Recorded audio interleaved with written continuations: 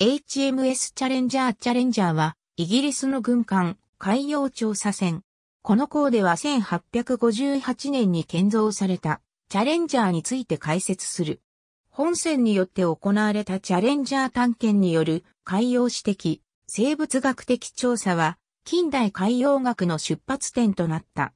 他のチャレンジャーと区別するため、チャレンジャー6世号と呼ばれることもある。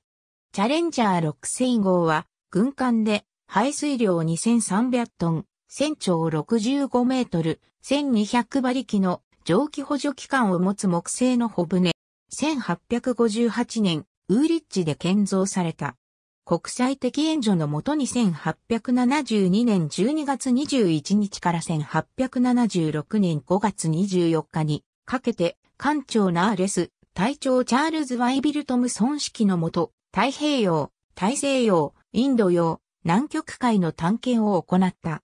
各地で生物学的調査をはじめ物理的、科学的調査をも行い、この観測が元になって50巻に上る膨大なチャレンジャー報告が出版され、近代海洋学が創始された。探検の当時、1875年には横浜、横須賀、神戸などに寄港している。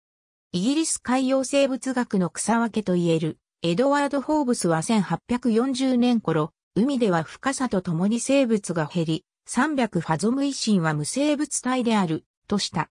ところが、ノルウェーのミハイル・サーシュは1850年、300ファゾムイシンの海から19種もの生物を発見し、その後も無生物体説に反する観測結果が次々と出てきた。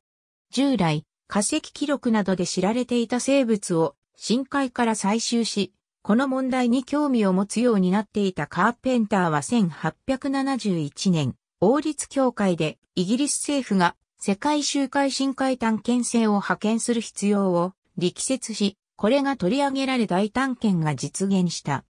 時代背景として19世紀に入ってからのベリングスハウゼン、ビスコー、ロスラの盛んな海洋探検、遠距離通信手段としての海底電線の普及に伴う海洋知識の要求、帝国主義時代に入り、列強による政治的、経済的、軍事的競争の激化による自然科学の実用的な重要性の認識などがあった。この体験には、エジンバラ大学のトムソンを隊長とし、ジョン・マレーなどが参加。プリマス港を出港して同港に戻るまで、深海促進数492、速音再推点263、最大数133、トロール引き151回に達した。この膨大な資料の解析や研究に伴い、エジンバラ大学はその後20年間、世界の海洋研究の中心となった。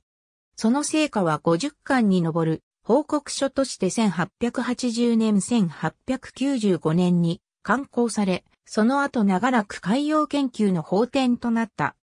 主な結果は、リットマーの原理として知られている法則の発見、深海生物の新種約3500種の発見、太陽の最深部にさえも、下等の動物から魚類に至る多種類の動物が生息し、どれも原始状態のものではないという知見への到達、1万3000に上る提出標本の採集、洋上の地磁気の測定に基づく地震偏差分布図の作成、島や岩礁の正確な位置の確定、100ファゾム維新では水温はほとんど季節変化しないことの発見などである。ありがとうございます。